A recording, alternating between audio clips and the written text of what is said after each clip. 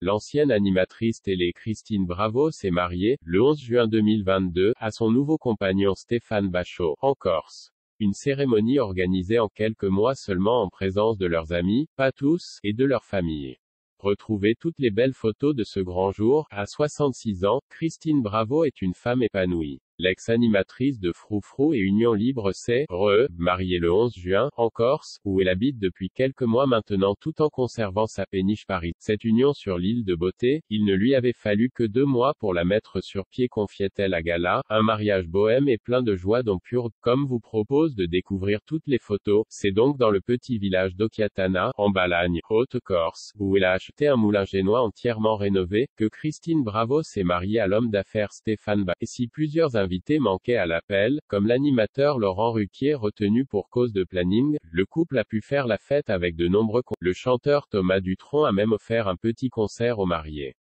Pour ce grand jour, l'ancienne star du petit écran, que l'on retrouve désormais comme pensionnaire des grosses têtes de RTL était aussi entourée de sa sœur Muriel, de ses enfants Mathieu, dont le père est son ancien époux Paco Cervantes, et Clara, dont le père est son ex-mari Philippe Brunel, ainsi que de ses trois, outre la cérémonie civile à la mairie, avec un discours du maire qui lui a tiré les larmes aux yeux, Christine Bravo a surtout dîné et dansé sur la plage. C'est au restaurant Le Marinella, sur l'île Rousse, que se déroulait la soirée.